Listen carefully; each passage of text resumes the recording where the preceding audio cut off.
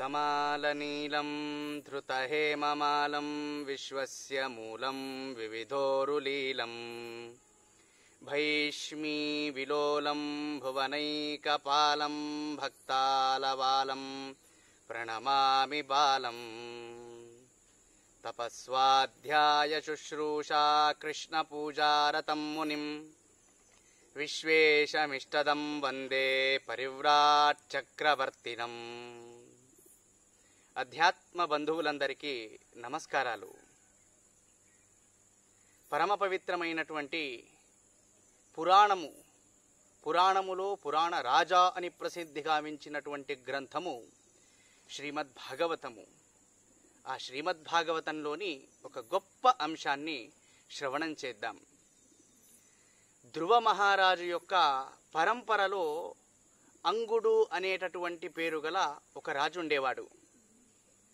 గొప్ప ధార్మికుడు. ఆ రాజు ఒకనొకనాడు అశ్వమేధ యాగము చేయాలని సంకల్పించాడు.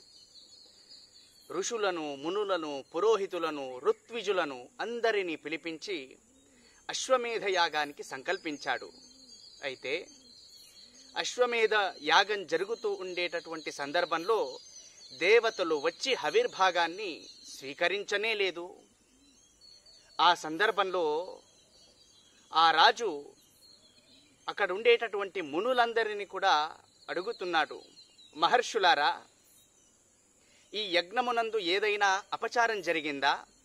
మంత్రాపచారమో ద్రవ్యాపచారమో లేదా మిగిలిన ఏవైనా అపచారాలు జరిగాయా? ఎందుకు దేవతలు వచ్చి హవిర్భాగాన్ని స్వీకరించలేదు అని అడిగినప్పుడు మహర్షులు అంటున్నారు రాజా నువ్వు పూర్వజన్మలో బాలహత్య చేయడం వలన ఈ జన్మలో నీకు పుత్ర సంతానము లేదు.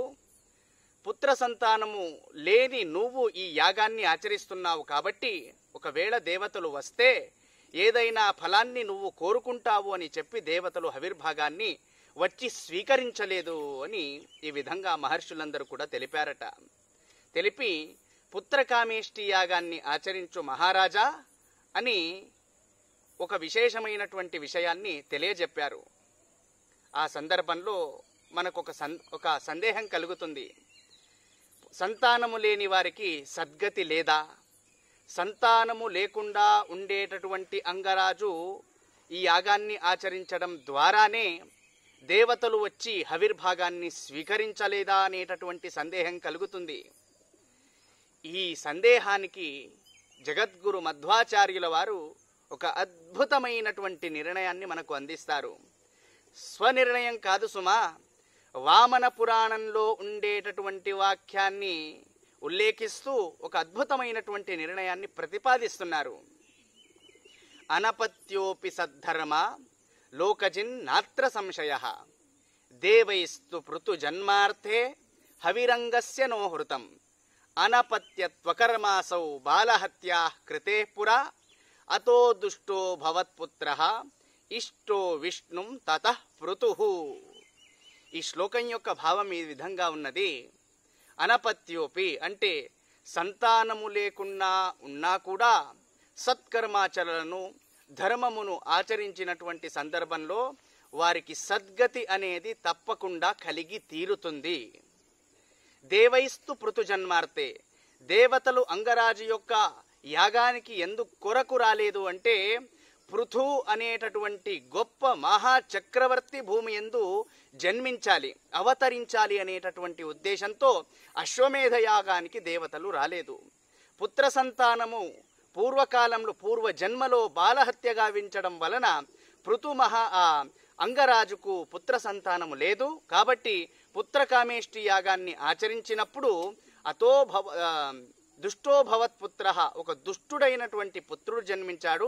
అటు పిమ్మట భగవంతుడిని విశేషంగా ధ్యానించడం వలన ఇష్టో విష్ణుం తత పృథు. పృథువు అనేటటువంటి మహారాజు ఆవిర్భవించాడు అనేది శ్లోకం యొక్క భావార్థం.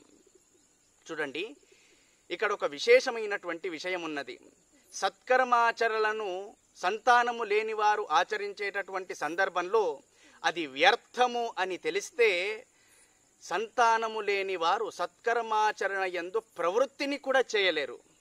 అలా కాదు సుమా సంతానము లేని వారికి కూడా సద్గతి కలదు అని వామన పురాణంలోని వాక్యాన్ని ఆచార్యుల వారు ఉల్లేఖిస్తున్నారు. సంతానము లేని వారికి కూడా సద్గతి అనేది ఉండే ఉంటుంది. ఎప్పుడు అంటే ధర్మమును ఆచరించినప్పుడు సత్కర్మలను ఆచరించినప్పుడు వారికి సంతానం వారికి స- విశేషమైనటువంటి సద్గతి కలిగే తీరుతుంది అనేటటువంటి విషయాన్ని ఆచార్యుల వారు గొప్ప నిర్ణయాన్ని ఇక్కడ ప్రతిపాదిస్తున్నారు. ఒకవేళ సంతానము లేక అంగరాజు యాగాన్ని ఆచరించేటటువంటి సందర్భంలో అశ్వమేధ యాగానికి రాలేదు దేవతలు. మరి పుత్రకామేష్టి యాగాన్ని అదే అంగరాజు ఆచరించినప్పుడు సంతానము లేని కారణంగా ఆ యాగానికి కూడా దేవతలు రాకూడదు కదా? పుత్రకామేష్టి యాగానికి వచ్చి దేవతలు ఆహుతిని స్వీకరించారు అంటే సత్కర్మాచరణ ద్వారా అంటే సంతానము లేని వారికి సద్గతి లేదు అనేటటువంటిది కాదు ఇక్కడ విషయం. పృథు అనేటటువంటి గొప్ప చక్రవర్తి జనించాలి. భూమి ఎందు గొప్ప చక్రవర్తి అవతరించాలి అనేటటువంటిదే దేవతల ఉద్దేశం తప్ప సంతానము లేదు కాబట్టి అంగరాజు యాగానికి రాలేదు అనేటటువంటిది కారణం కానే కాదు అనేటటువంటి ఒక గొప్ప విషయాన్ని మనం భాగవతంలో చూడవచ్చు.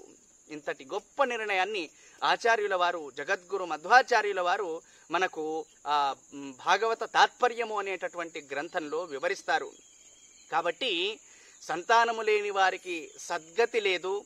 సంతానము లేని వారు ఏదైనా సత్కర్మను ఆచరిస్తే దాని వలన వారికి ఎటువంటి ప్రయోజనం లేదు అని భావించి సజ్జనులు ఈ కర్మయందు సత్కర్మలయందు ప్రవృత్తియే వారికి కుదరదు కాబట్టి ప్రవృత్తి అనేదే వారికి కుదరదు కాబట్టి వారు ఆ కర్మలో ఎప్పుడు కూడా ప్రవృత్తిని పొందలేరు కాబట్టి అటువంటిది కానే కాదు. సంతానము లేని వారికి కూడా అద్భుతమైనటువంటి సద్గతి కలిగి తీరుతుంది. సత్కర్మను ఆచరించినప్పుడు ధర్మమును ఆచరించినప్పుడు అనేటటువంటి గొప్ప తాత్పర్యాన్ని భాగవత తాత్పర్యము అంటే భాగవతానికి ఆచార్యులు వారు రచించినటువంటి భాగవత తాత్పర్య వ్యాఖ్యానమునందు మనం తెలుసుకోవచ్చు అని ఈ సందర్భంగా తెలియజేస్తూ ఇటువంటి గొప్ప విషయాలను భాగవత భాగవతంలో భాగవతానికి వ్యాఖ్యానంగా వచ్చినటువంటి భాగవత తాత్పర్య గ్రంథంలో మనం తెలుసుకోవచ్చు అని ఈ సందర్భంగా తెలియజేస్తూ కృష్ణం వందే జగద్గురుం శ్రీకృష్ణార్పణమస్తు.